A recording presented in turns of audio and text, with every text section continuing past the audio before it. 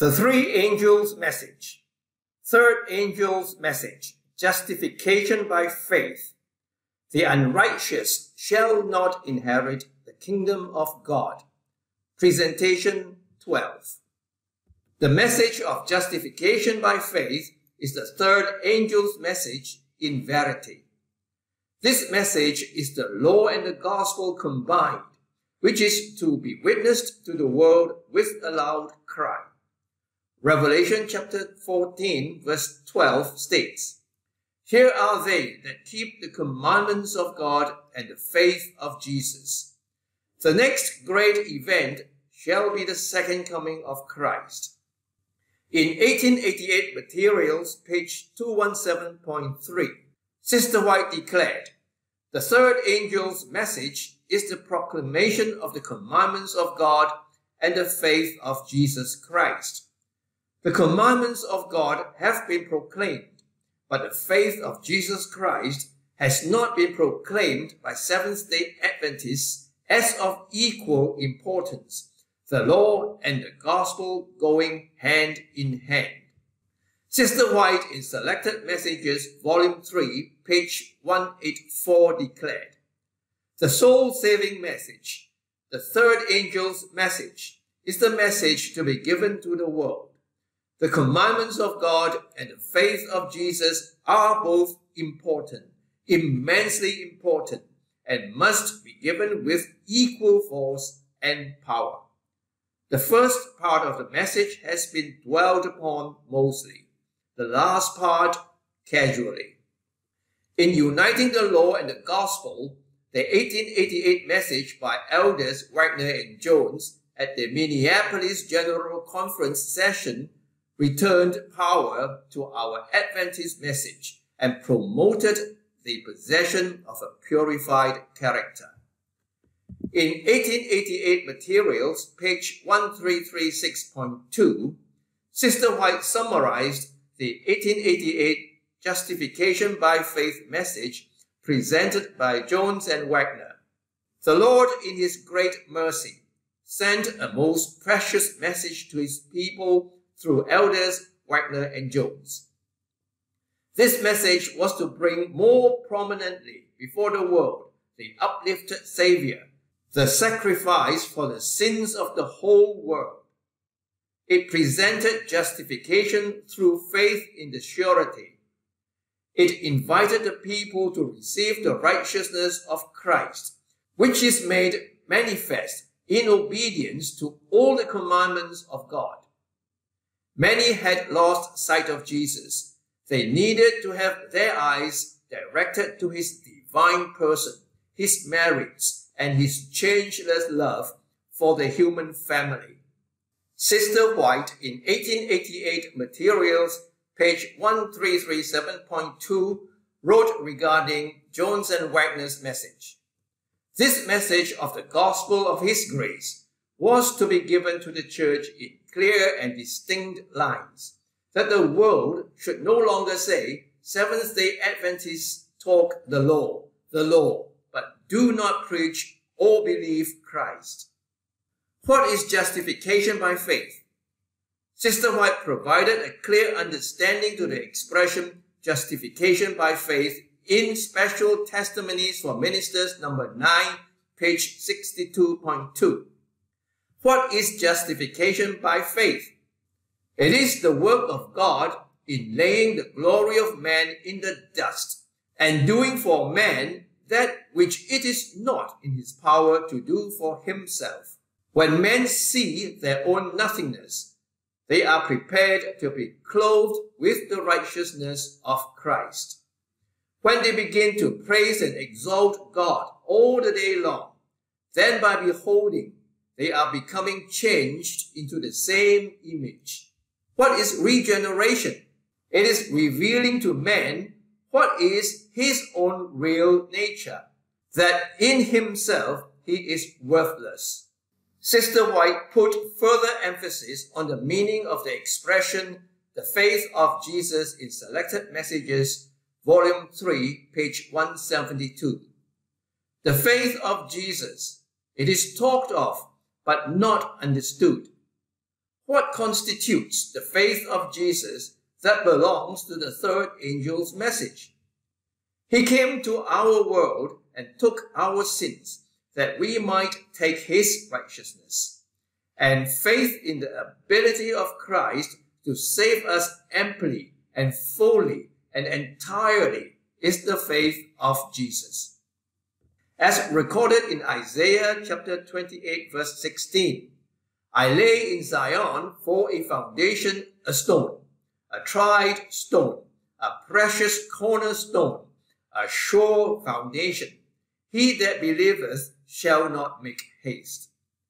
The faith of Jesus refers to Christ being more than able and willing to save fully, entirely, and to the utmost all who will come unto him and believe in him as their personal Savior. This is Christ's faith that the Father has gifted to men. Romans chapter 12 verse 3. According as God hath dealt to every man the measure of faith. The apostle Paul confirmed this point in Galatians chapter 2 verse 20 when he wrote, I am crucified with Christ. Nevertheless I live. Yet not I, but Christ liveth in me. And the life which I now live in the flesh, I live by the faith of the Son of God, who loved me and gave himself for me. Christ's righteousness is our title and fitness for heaven. In Messages to Young People, page 35, Sister White wrote, Righteousness within is testified to by righteousness without. The righteousness by which we are justified is imputed. The righteousness by which we are sanctified is imparted. The first is our title to heaven. The second is our fitness for heaven. Both justification and sanctification are 100% God's work, empowering us through His Spirit. Sister White stated in Review and Herald, September 21st, 1886, God requires of all his subjects obedience, entire obedience to all his commandments. He demands now as ever perfect righteousness as the only title to heaven. Christ is our hope and our refuge. His righteousness is imputed only to the obedient. Let us accept it through faith that the Father shall find in us no sin. Romans chapter 6 verse 16 states, of obedience unto righteousness. However, there is no salvation based solely on obedience to God's law. Sister White in Desire of Ages, page 324.1 cautioned, But unless we do yield ourselves to the control of Christ, we shall be dominated by the wicked one. We must inevitably be under the control of the one or the other of the two great powers that are contending for the supremacy of the world. It is not necessary for us deliberately to choose the service of the kingdom of darkness in order to come under its dominion. We have only to neglect to ally ourselves with the kingdom of light. If we do not cooperate with the heavenly agencies, Satan will take possession of the heart and will make it his abiding place. Man is entrusted with the Holy Spirit according to our response to his promptings, to our capacity to receive it, and our ability to impart it to others. Sister White in Review and Herald 1896 number 18 wrote, The measure of the Holy Spirit we receive will be proportionate to the measure of our desire and faith exercised to get it, and the use we shall make of the light and knowledge that shall be given us. We shall be entrusted with the Holy Spirit according to our capacity to receive it and our ability to impart it to others. God allows trials in our lives so that we can exercise the faith of Jesus that we have received that it may grow exceedingly strong. In Third Testimonies 555.2, she wrote, Faith grows strong by coming in conflict with doubts and opposing influences. The experience gained in these trials is of more value than the most costly jewels. The question may be raised, in practice, how may one be assured that the faith of Jesus is all sufficient? Sister White in Desire of Ages, page 753.2 declared, The Savior could not see through the portals of the tomb. Hope did not present to him his coming forth from the grave as a conqueror, or tell him of his Father's acceptance of the sacrifice. He feared that sin was so offensive to God that their separation was to be eternal. In that hour of greatest need, when the spotless Son of God hung dying on the cross, a propitiation for the past sins of the world, his faith did not for one moment waver. Christ did not know that his Father and the holy angels were right there beside the cross. This is confirmed in Desire of Ages, page 753.4. In that thick darkness, God's presence was hidden. He makes darkness his pavilion and conceals his glory from human eyes. God and his holy angels were beside the cross. The Father was with his Son, yet his presence was not revealed. And in that dreadful hour, Christ was not to be comforted with the Father's presence. He trod the winepress alone, and of the people there was none with him. Whilst Christ did not know the Father was by his side, whilst he could not see through the portal of the tomb, whilst hope did not present to him his coming forth from the grave as a conqueror, or tell him of the Father's acceptance of the sacrifice, yet he knew prophecy was being fulfilled and his faith in his Father was greatly strengthened to trod the winepress alone, especially when he looked down from the cross and saw the soldiers casting lots upon his garments.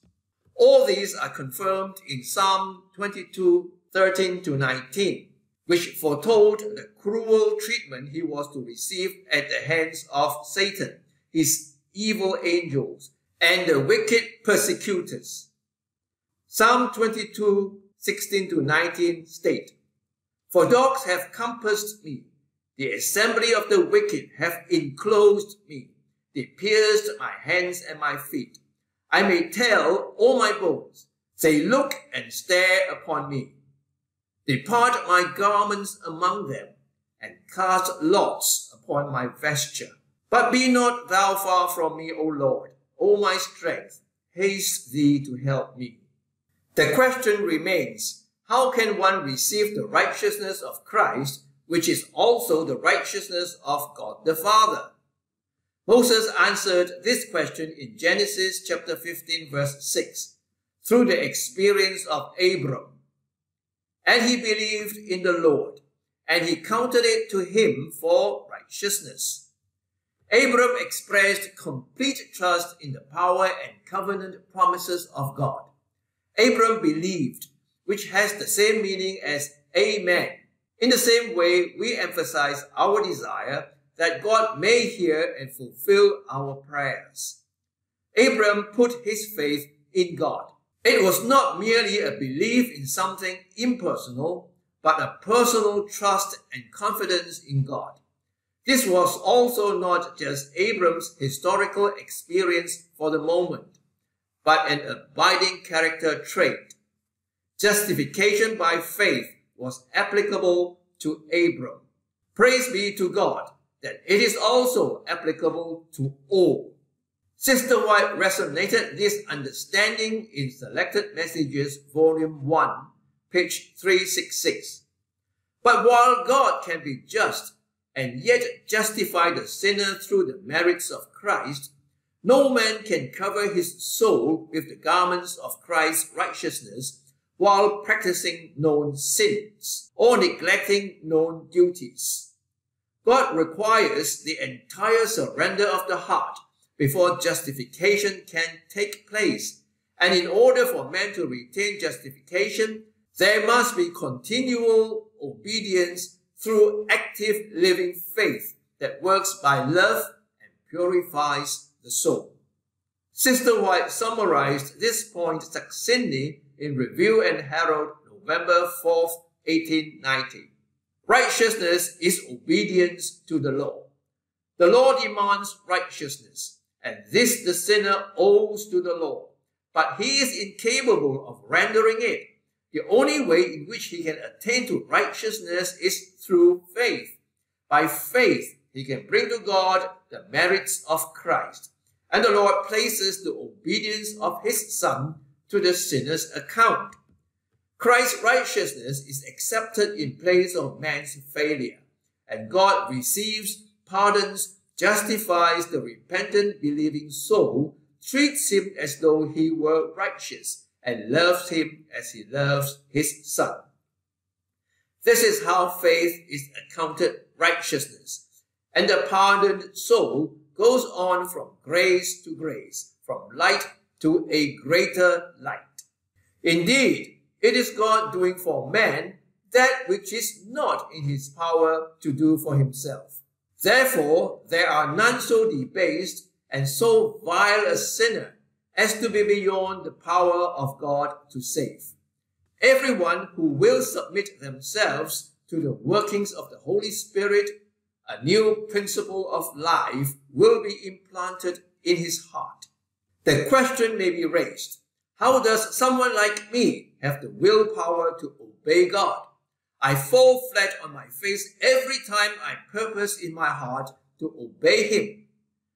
Sister White gave a most comforting assurance in Signs of the Times, June 16, 1890, paragraph 6. When it is in the heart to obey God, when efforts are put forth to this end, Jesus accepts this disposition and effort as man's best service, and he makes up for the deficiency with his own divine merit. In Christ Object Lesson, page 311.4, Sister White distinctly defined what is meant to be clothed with the garment of Christ's righteousness. When we submit ourselves to Christ, the heart is united with his heart. The will is merged in his will. The mind becomes one with his mind. The thoughts are brought into captivity to him. We live his life. This is what it means to be clothed with the garments of his righteousness. A serious question arose in the minds of many who heard the message of justification by faith presented at the 1888 Minneapolis General Conference session by elders Waggoner and Jones, as to the relation that message bore to the third angel's message. In their perplexity, a number wrote to Sister White for an expression of her views on this question. In this regard, Sister White wrote in the Review and Herald, April 1st, paragraph 8, 1890, Several have written to me, inquiring if the message of justification by faith is the third angel's message, and I have answered, it is the third angel's message in verity. The enemy of man and God is not willing that this truth should be clearly presented, for he knew that if the people receive it fully, his power will be broken. Indeed, the thought that the righteousness of Christ is imputed to us, not because of any merit on our part, but as a free gift from God, is a precious thought. Sister White gave further emphasis on this in Manuscript Releases, Volume 7, page 357.3. When we bring our lives to complete obedience to the law of God, regarding God as our supreme guide, and clinging to Christ as our hope of righteousness, God will work in our behalf. This is a righteousness of faith, a righteousness hidden in a mystery, of which the worldling knows nothing, and which he cannot understand. Both the law of God and Christ's righteousness must be equally lifted up. Both are critical to man's salvation. Sister White further expounded on the message of justification by faith in Review and Herald, August 13, 1889, paragraph 15. They are grand truths long hidden under the rubbish of error that are to be revealed to the people. The doctrine of justification by faith has been lost sight of by many who have professed to believe the third angel's message. The holiness people have gone to great extremes on this point. With great zeal, they have taught, only believe in Christ and be saved, but away with the law of God. This is not the teaching of the Word of God. There is no foundation for such a faith. This is not precious gem of truth that God has given to his people for this time. This doctrine misleads honest souls. The light from the Word of God reveals the fact that the law must be proclaimed. Christ must be lifted up because he is the Savior who forgiveth transgression, iniquity, and sin, but will by no means clear the guilty and unrepentant soul. Sanctification or imparted righteousness is also the third angel's message. Sister White confirmed this point in Testimonies to Ministers and Gospel Workers, page 92. All power is given unto his hands, that he may dispense rich gifts unto men, imparting the priceless gift of his own righteousness to the helpless human agent. This is the message that God commanded to be given to the world. It is the third angel's message, which is to be proclaimed with a loud voice and attended with the outpouring of his spirit in a large measure. Justification and sanctification are inseparable concepts which permeate scripture. By including justification and excluding sanctification, Satan has a masterful deception. The unscriptural concept of forensic justification teaches a universal justification at the cross, which qualifies every human being for heaven, provided he does not persistently reject it. In Dynamics of the Everlasting Gospel, page 13, E. H. Jack Sequeira expounded this concept which is completely not in harmony with the teachings of the Holy Scripture. This righteousness in Christ is the only means of our salvation, and unless we resist and reject it, it fully qualifies us for heaven now and in the judgment. Seventh day Adventists prior to 1957 believed that while the sacrifice of Christ on the cross was fully sufficient to pay the penalty for our sins, Christ's work of final atonement is to be completed in the most holy place of the heavenly sanctuary. The sacrificial phase of the atonement was completed on Calvary by the death and spilled blood of Jesus. But the final atonement of Christ would not be completed until after Jesus as our ministering heavenly high priest sprinkled his blood on the mercy seat in the Holy of Holies. The work of atonement cannot be completed here on earth because the sanctuary message determines that the final work of atonement can only be performed by a priest and must be carried out in heaven. Jesus was not a Levite. Therefore, he cannot be a priest on this earth. Sadly and tragically, the authors of Questions on Doctrine and their main advisers, including the then General Conference President, endorsed an official so-called authoritative SDA church document filled with reshaped pillar beliefs of the Seventh-day Adventist Church to gain favor with the prominent evangelicals notably Martin and Barnhouse. Long-held Seventh-day Adventist pillar beliefs were dismissed as mere semantics, a defense frequently employed later by the new theology proponents of the 1970s and early 1980s. Sister White, in early writings, page 253.1, confirmed that Jesus made a final atonement for all in the most holy place. The blood of Jesus was then shed, which was to be offered by himself in the heavenly sanctuary.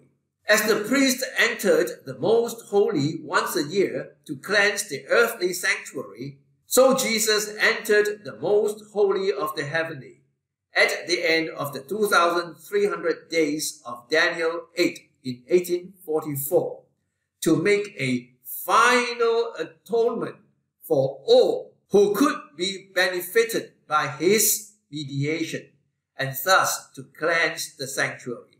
But statements in QOD page 264, 1975 claimed that the atonement was completed at the cross for man his heavenly ministry to be the mediation of his complete and ever efficacious atonement, which he made and completed on the cross for man. It is therefore not strange that Christ's imparted righteousness, that is, his sanctification, is so despised in God's church today. Holiness of living when espoused and promoted by faithful church members, is frequently sufficient reason to be ostracized. In 1888, the 27th General Conference session was held at Minneapolis with 91 delegates and approximately 475 attendees. God brings the truth of justification by faith to his people through elders Waggoner and Jones but it generated a great controversy among the leading brethren in leadership or in sacred positions, like then GC President G.I. Butler, Uriah Smith, Dan Jones, J.H. Morrison, Isaac Van Horn, Leroy Nicola, etc., whose negative sentiments were to a significant degree replicated throughout the denomination. Sister White in manuscript 40, 1890, 1888 materials, chapter 115 wrote, The prejudices and opinions that prevailed at Minneapolis are not dead by any means. The seeds there sown are ready to spring into life and bear a like harvest, because the roots are still left and will bear their unholy fruit to poison the perception and blind the understanding of those you connect with in regard to the messengers and messages that God sends. In 1888 materials, page 349, Sister White gave full support to Waggoner's justification by faith message presented at the Minneapolis meeting. I have had the question asked, what do you think of this light that these men are presenting? Why? I have been presenting it to you for the last 45 years. The matchless charms of Christ. This is what I have been trying to present before your minds. When Brother Waggoner brought out these ideas in Minneapolis, it was the first clear teaching on this subject from any human lips I had heard, excepting the conversations between myself and my husband. And when another presented it, every fiber of my heart said, Amen. In 1888 materials, page 608.2, she confirmed that God has sent Jones and Waggoner to deliver the justification by faith message. If we place ourselves in the position that we do not recognize the light God sends or his messenger to us, then we are in danger of sinning against the Holy Ghost. Then for us to turn and see if we can find some little thing that is done that we can hang some of our doubts upon and begin to question. The question is, has God sent the truth? Has God raised up this man to proclaim the truth? I say yes. God has sent men to bring us the truth that we should not have had unless God had sent somebody to bring it to us. God has let me have a light on what His Spirit is, and therefore I accept it. And I no more dare to lift my hand against these persons, because it would be against Jesus Christ, who is to be recognized in His messengers. She made it absolutely clear on what His Spirit is. It is in the form of these messengers, these instrumentalities, these persons. If only we had listened as we should to the warning and appeal in that seemingly strange yet impressive manner at the 1888 General Conference session at Minneapolis. What uncertainty would have been removed? What wanderings and defeats and losses would have been prevented? Even as ancient Israel at Kadesh Barnea, right at the doorstep of the promised land. What light and blessing and triumph and progress would have come. Sister White in 1888 Materials, page 152.6 wrote, If the ministers will not receive the light, I want to give the people a chance. Perhaps they may receive it. God did not raise me up to come across the plains to speak to you, and you sit to question his message and question whether Sister White is the same as she used to be in years gone by.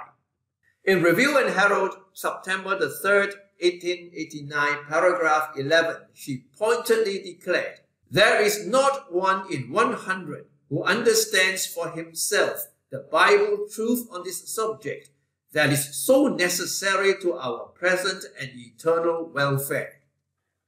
Delegates and attendees at the 27th Minneapolis General Conference session numbered only about 566, meaning perhaps little more than only Waggoner, Jones, and herself understood the message. Sister White wrote at the Ottawa, Kansas camp meeting July 23, 1889. At the Kansas meeting, my prayer to God was that the power of the enemy might be broken and that the people who had been in darkness might open their hearts and minds to the message that God should send them, that they might see the truth, new to many minds, as old truth in new framework. The question remains, how many today who claim to believe this truth comprehend the third angel's message. Ever since the 1888 experience, there has been a tendency among Seventh-day Adventists as a people to credit themselves with accepting and experiencing the message of righteousness by faith. Since the 1920s, however, when this acceptance idea began to be questioned by some of the leading brethren, there has been a more determined effort through the writings of various leaders and church historians to portray the acceptance theory that Minneapolis is portrayed as a glorious victory. In numerous places, Sister White confirmed that the message of justification by faith was rejected by the leading brethren in leadership or in sacred positions and to a significant degree, their negative sentiments were consequently reflected through the denomination of that time.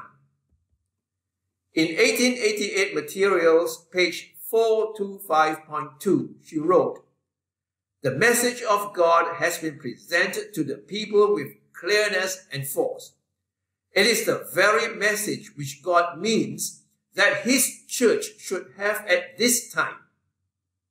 Your refusal to listen to it, your rejection of it, while it will not stop the work, will result in great loss to your souls. Every ray of light that God has given to his people is necessary for them in the emergency that is to come. But if the rays of heaven's light are not discerned, if they are not appreciated, accepted, and acted upon, you will lose the heavenly benefit yourselves and keep the light from others whom God designed should receive it through you. Sister White in Testimonies to Ministers 97.1, 1896, warned against despising God's message. I have no smooth message to bear to those who have been so long as false guideposts, pointing the wrong way. If you reject Christ's delegated messengers, you reject Christ. I entreat you now to humble yourselves and cease your stubborn resistance of light and evidence. Take home message. The righteousness of Christ accepted by faith is crucial to man's salvation. 1 Corinthians chapter 6 verse 9. Know ye not that the unrighteous shall not inherit the kingdom of God? Be not deceived. The unjust shall not inherit the kingdom of God. Their greedy, grasping, selfish, carnal character is altogether out of harmony with the selfless, humble love that characterizes the inhabitants of paradise. The rejection of Christ's righteousness represents the rejection of those traits of God's character that qualify men to become sons and daughters of God. Men are acceptable in the presence of God the Father only when clad in the perfect righteousness of Jesus Christ, his only begotten Son, by virtue of his merits. The imperfect righteousness of a false God, the eternal Spirit, consigns unsuspecting souls to eternal perdition.